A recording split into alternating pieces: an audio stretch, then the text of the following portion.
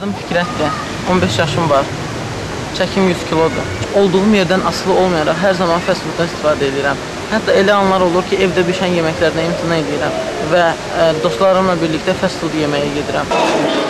Fast food bu gün çoxlarımızın gündəlik qidasına çevrilib. Ofislərdə, təhsil ocaqlarında, istirahət və əyləncə mərkəzlərində, restoranlarda, parklarda fast food məhsullarının ticarəti durmadan artmaqdadır.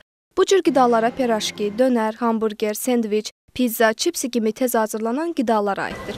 Bəs Bakı sakinləri hansı hallarda fast fooddan istifadə edir?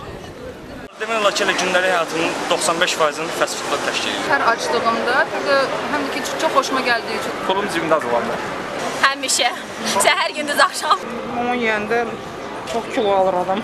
Amerikada yerləşən İctimai Səhiyyə Məktəbinin araşdırmasına görə fast food piylənməyə səbəb olur ki, bu da özü ilə bir sıra problemlər yaradır. Və mən ölçümə uyğun paltar tapa bilmirəm. Elə vaxtlar olur ki, günümün bütün hissəsi, yarım ə, hissəsi mənim paltar axtarmağa gedir. Mağa mağazalarda çox xoşuma gələn bir paltar ölçümə uyğun tapmamışam. Yəni ki, m, bu da ki insanda çox böyük təəssüf hissi yaradır. Mənim razmerim var. Paltardan. Onlara tövsiyə edirəm ki, bir də uşaqlar ki, kökəni cür zahiri və fiziki baxışdan baxanda deməsinlər ki, yenə toppuşdu qəşəng.